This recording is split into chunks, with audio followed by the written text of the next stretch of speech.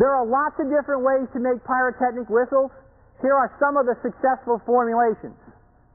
Basically, you have to, you need to know, if you're going to do some experiments in whistles, where the carbon dioxide reaction leads to in terms of giving you fuel and oxidizer.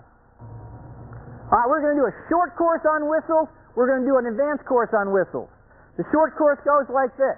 If you want to make a pyrotechnic whistle, you take a tube, you fill it half full of composition, you press the composition in excess of 5,000 pounds per square inch, and you use 27% potassium benzoate, 73% potassium perchlorate.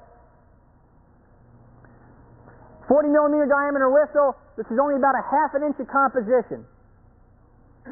This is just that raw formulation.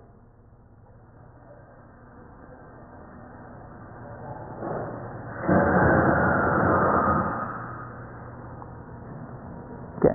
Notice there's a significant amount of energy in a pyrotechnic whistle composition. Okay, well now starts the fun. Now I found a pyro whistle system that I like. I know I can measure it. Let's start dumping stuff in the pyro whistle. Well, the first thing we're going to do is go look at red gum. I want to see how much binder I can put into a whistle to see how hard I can press it and still have it make a whistle. And it turns out you cannot press a whistle composition too hard to make it work. If you press it too hard, it'll detonate while you're pressing it. So you stay within the limits of what we, uh, what we recommend.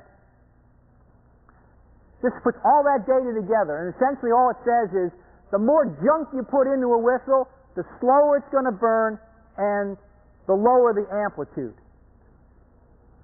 The point here is that from the safety standpoint, as you start to increase diameter slightly, from a quarter to a half to three quarters, you start getting bigger and bigger surface areas. When you're pressing two, two and a quarter inch diameter whistle, it's like shooting 81 whistles synchronously. For example, what I want you to listen to is after the whistle's over, the echo from the cloud cover.